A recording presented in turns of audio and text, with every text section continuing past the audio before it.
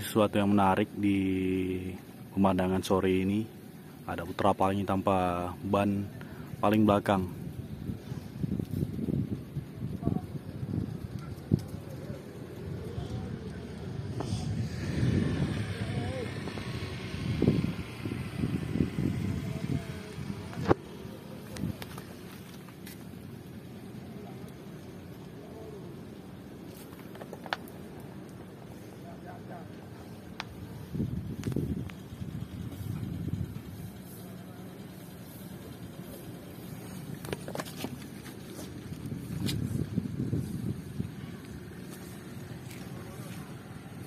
ini kebetulan sasis Mercedes-Benz. E, kalau untuk bisa jalan Mercedes-Benz sendiri untuk ban gandeng paling belakang ini bisa jalan. Dia bisa dinaikkan suspensinya jadi bannya ntar bakal gantung untuk bagian belakang. Tapi yang jelas tumpuan paling belakang cuma ditumpu oleh ban gandengnya ini aja. Ntar kita lihat videonya pas jalan. Teraplangi 2542 Jetliner generasi pertama.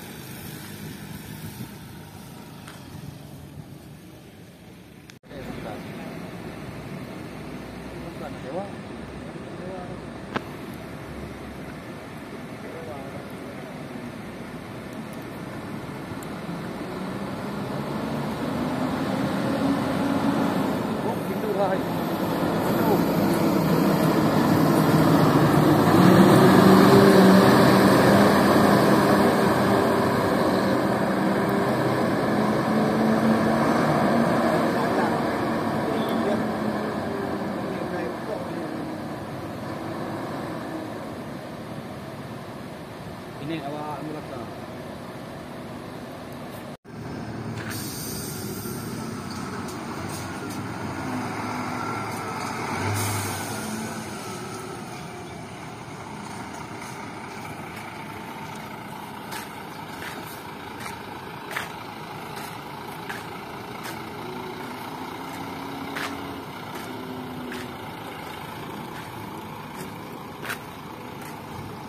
Bus TV Indonesia join Dom itu.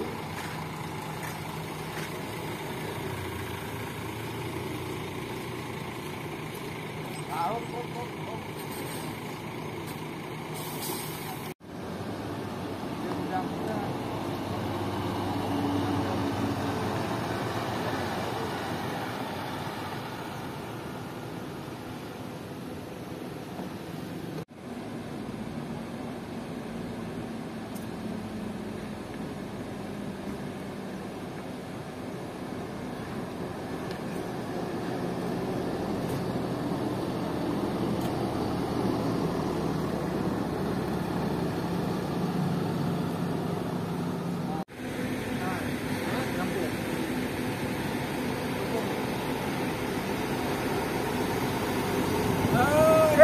jangan.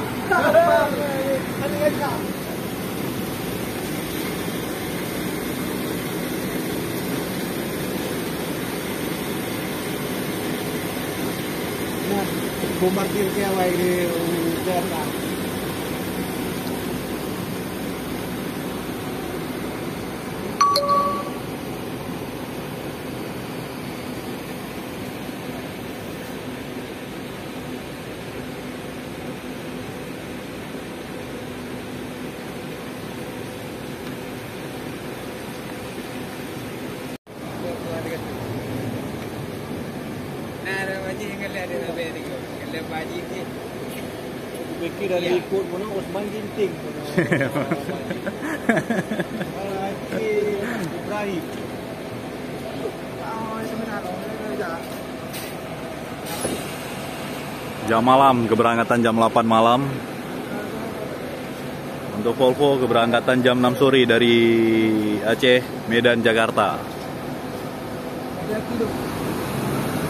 Kata-katanya gimana kata-kata bang?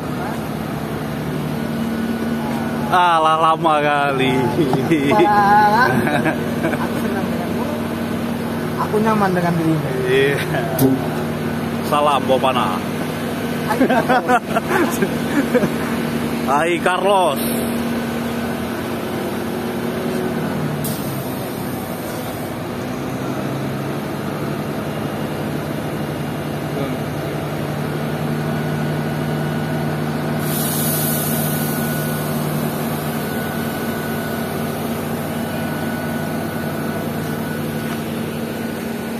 Suasana Terminal Batoh di sore hari. Udah didominasi sama bus-bus tronton. Ini Volvo mau siap-siap berangkat menuju Medan dan lanjut ke Jakarta di sore harinya. Untuk keberangkatan Jakarta sendiri dari Medan keberangkatan jam 6 sore dan jam setengah 7 uh, sore dari Medan. Udah dua trip naik ke Aceh dari Jakarta. Ini kebetulan juga unit pemain Jakarta 7900.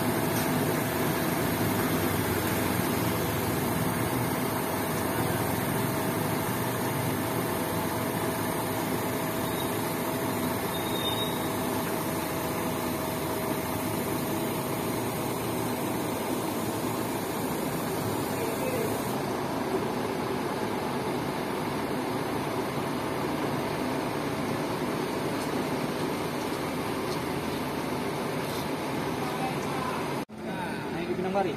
Pinang Bari. Naik Bari. Enggak, naik enggak. Belum, naik naikin belum. Oh ya, kalau kayak nah. Enggak. Enggak, ya.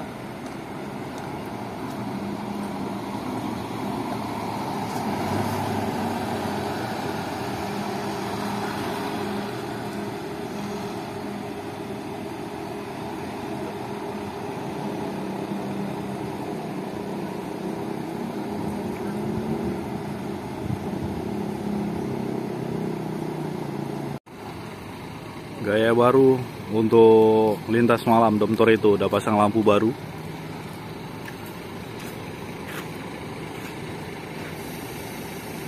Tampilan dari samping yang jelas nih. Biasanya kita kejar-kejar ya tampilan dari belakang. Kali ini tampilan dari samping. Ini kita masuk ke dalam dulu. Ada gorden baru.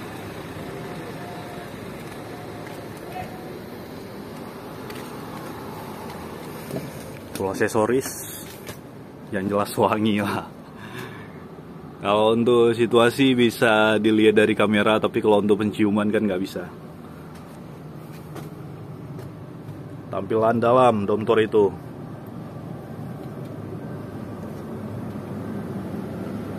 Gordennya full, full gorden.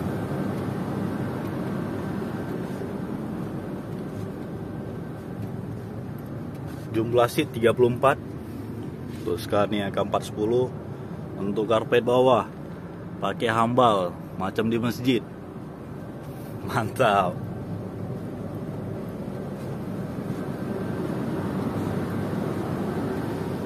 Ini kita mau lihat juga nih kendaraan-kendaraan bus lain yang untuk keberangkatan malam ini dari Terminal Banda Aceh menuju Medan.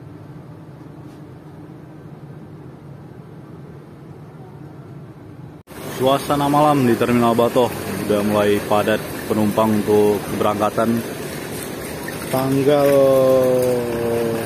14 bulan 12 di Sepatisar ada 3 unit Tronton jam 8 malam jam 9 malam nonstop. Putra Pelangi ada 3 unit juga yang udah standby di sini Tronton juga tiga-tiganya ada Armada Indah dua unit. PM Toh ada satu unit. Harapan Indah ada dua unit, Kurniawi ada dua unit, dan JRG ada tiga unit juga. Jadi ginilah kondisi Terminal Batoh di malam ini, uh, cukup padat penumpang. Keberangkatan tanggal 14 bulan 12 menuju Medan dan sekitarnya. Jadi sampai di sini aja video hunting kita di Terminal Batoh untuk tanggal 14 bulan 12. Jangan lupa like, share, dan subscribe channel Tubus TV Indonesia dan bagikan pada teman-teman yang lain. Uh, jangan lupa juga ada Instagram kita juga Bus TV Indonesia, TikTok kita juga Bus TV Indonesia. Sampai jumpa di video selanjutnya. Assalamualaikum warahmatullahi wabarakatuh.